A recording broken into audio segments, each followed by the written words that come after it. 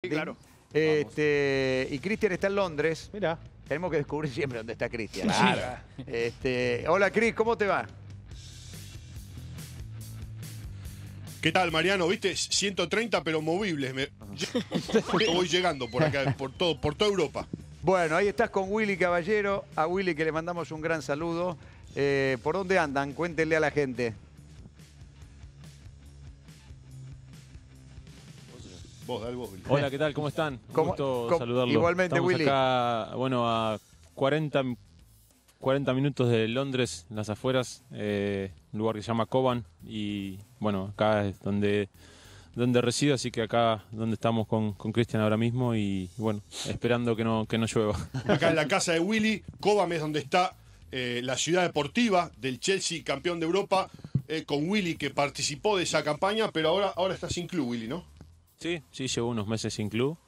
eh, manteniéndome, entrenando y tratando de estar bien para ver si, si surge algo, si sale algo eh, en cualquier momento, porque como soy jugador libre, en cualquier momento puede pasar. Pero bueno, si no, en, en enero, que es donde al- a muchos de los clubes eh, le, le surgen este tipo de, de inconvenientes. Así que bueno, a ver si, si, si sale algo que, que, que pueda ser bueno para, para continuar para continuar jugando y, y, y haciendo lo que más me gusta.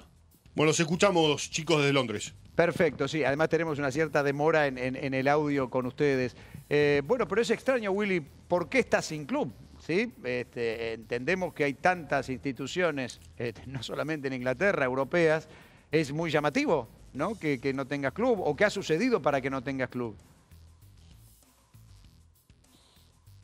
Eh, hay muchas respuestas para todo eso, ¿no? Pero, pero bueno, creo que también eh, un poco eh, mi edad a lo mejor asuste a muchos clubes. eh, em, de- 40 tenés, ¿no? 40 recientemente y después quizás eh, muchos clubes por el después del, del año de, de pandemia y demás prefieren apostar o, o aferrarse a jugadores más jóvenes que, que le puedan dar eh, a retribuir eh, dinero en, en pocos años y demás. Igual el 40 asusta, te digo, ¿eh? porque no es una cosa Sí, 39. sí, por como los supuesto, de no. las cosas, ¿viste? Cualquier número asusta, yo lo, yo, yo lo entiendo, eh, pero bueno, eh, estoy donde estoy y ya te digo, no, no, no bajé los brazos todavía, así que espero tener alguna algún poquito de suerte para, para que se abran ahora en este mercado una, una nueva posibilidad. Siempre quedándote allí, en Inglaterra o por lo menos en Europa.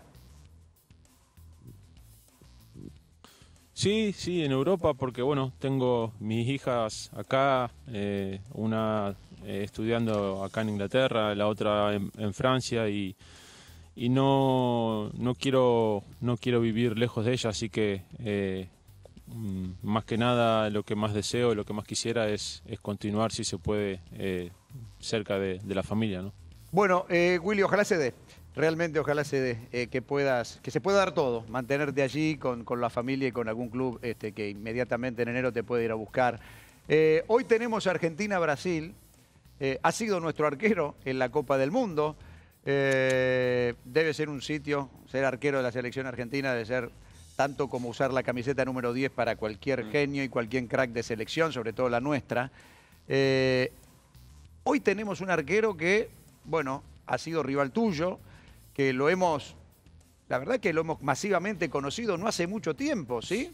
Porque tuvieron que pasar cosas, ni siquiera él pudo afirmarse en el Arsenal, tuvo que cambiar. Eh, casi que podemos decir que Dibu Martínez es un arquero de selección, más allá que hoy ya es titular en el equipo que él deseó estar allí en Inglaterra.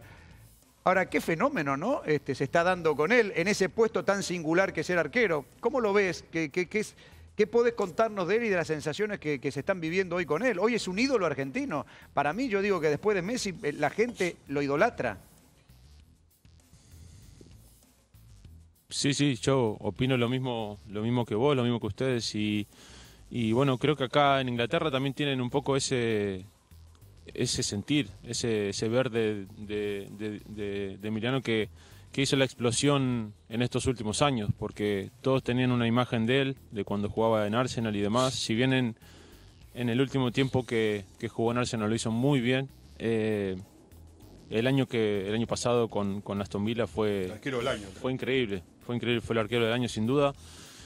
y, a mí, sinceramente, honestamente, me, me despertó cosas que, que, me pasaban cuando era chico, que cuando miraba a Oscar Córdoba, que, lo iba a ver para ver qué hacía, para ver qué, qué atajada nueva hacía y, y, él lo hacía, ¿no? Entonces en Aston Villa el año pasado fue, fue un, un excelente partido tras partido, iba haciendo cosas, cosas importantes para el equipo.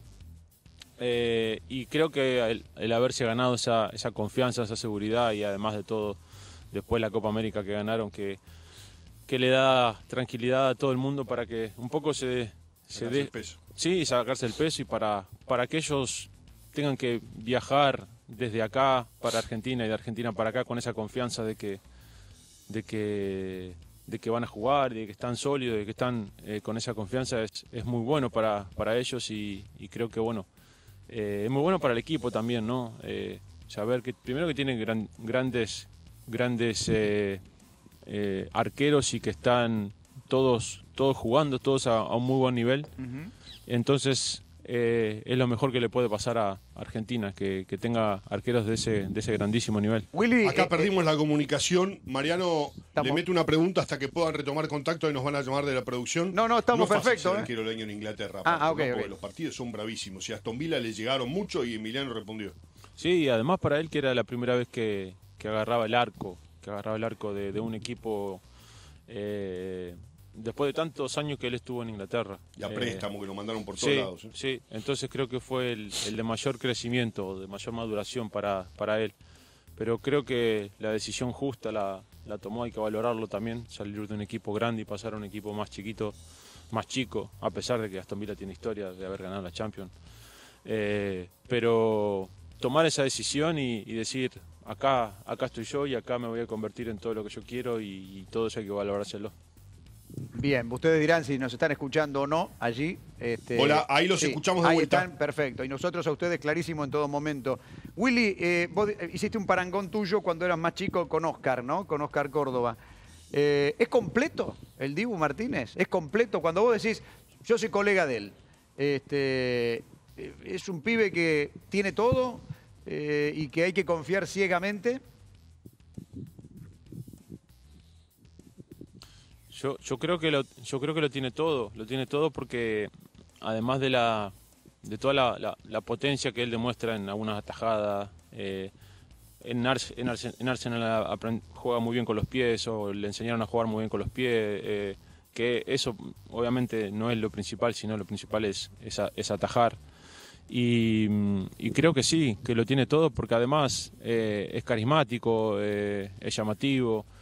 Eh, y, y, usa mucho su cabeza. Me refiero a que usa mucho el trabajo de eh, psicoanálisis, hace mucho trabajo para su cabeza, eh, hace trabajos que no tienen nada que ver con el fútbol para, para beneficiarse de ellos y, ser mejor arquero. Así que creo que... Muchas veces subestimados en el fútbol, ¿no? El tema cabeza, psicología, ¿no? Y sí, pero él hoy por hoy está demostrando que, es muy importante, muy importante. Y sobre todo para el arquero, ¿no? Un puesto tan único, tan cruel y tan sosero de villano. Sí, sí, y, creo que son todas herramientas que están al lado nuestro y que a veces no, la, no las usamos. Y creo que él, él, él que, hace sesiones con psicólogos, que hace un montón de cosas extra, eh, entrenamiento extra deportiva y, todo eso le, le, está, le está sirviendo. Así que ojalá y y muchos más lo puedan hacer. Ahí los escuchamos, Mariano. Otra vez, bueno, perfecto, sí, la, gente sabrá entender, pero está saliendo bárbaro, está todo 10 puntos, eh, Cristian y Willy por allí. Eh, chicos, ¿ustedes alguna sí, Yo le quería preguntar, eh, Willy, te saludo. ¿Qué sensación hoy te quedó después de tres años del Mundial, de lo que fue tu participación, de lo que fue la participación de la selección argentina, de, tu, de tu vínculo con San Paoli? ¿Hoy qué análisis haces a la distancia?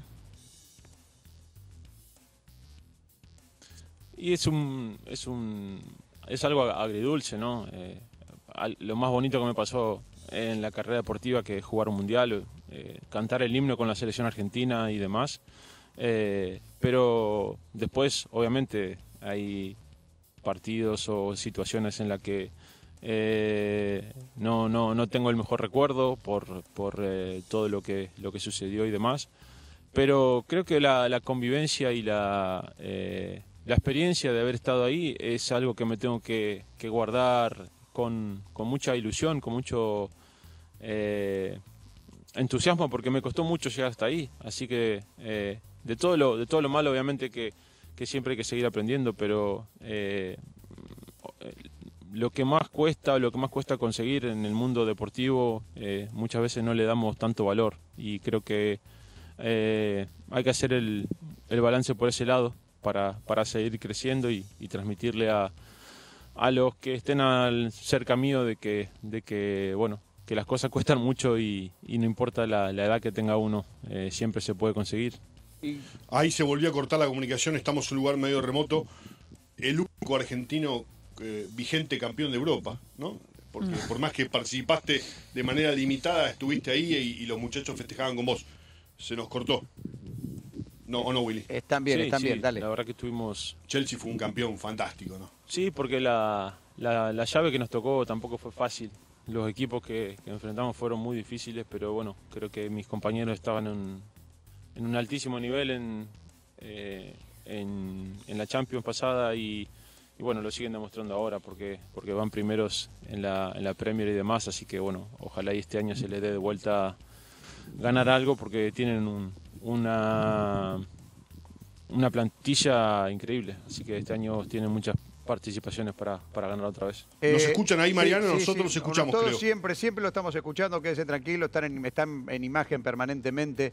Eh, no sé si mito, realidad, eh, estamos hablando de una armoniosa selección argentina en el día de hoy, eh, donde pareciera que todo el mundo está bien. Y yo creo que no solamente por haber obtenido un título que fue la Copa América, eh, viste que los, bueno, ustedes mejor que nadie, Willy, saben que los resultados eh, terminan eh, marcando el camino. Si se gana, está todo bien, si se pierde, empiezan algunas miradas de costado, algún reproche. ¿Fue caótico el Mundial? La, convivencia entre todos, no sé, más, menos, grupo, cuerpo técnico, jugadores, entre... Fue caótico porque uno piensa que además de jugar bien y además de tener a Messi en el mejor momento hoy día, de tener un arquero fantástico, de encontrar un central magnífico, de tener perspectivas hacia la próxima Copa del Mundo, lo interesante también es poder lograr una armonía en un grupo. Eh, ¿Cómo era, cómo fue convivir en el 18 para no repetir cosas? No, obviamente, yo creo que eh, más allá de la pregunta que vos me haces o de la experiencia que yo viví, creo que, los que quedan de ese mundial eh, habrán aprendido y por eso quizás ahora la, la convivencia es, es esa. Sin duda que todos los jugadores argentinos cuando van a, a la selección quieren vivir como o viven como lo están mostrando ahora, como se está viendo en las redes, que tienen una, una hermosa armonía, que se llevan todos bien y demás. Pero después a la hora de competir, eh, los resultados por ahí hacen que, ese desequilibrio aparezca. Eh, y en el Mundial los resultados fueron los que, lo que hicieron que, que fuera todo un poco más caótico.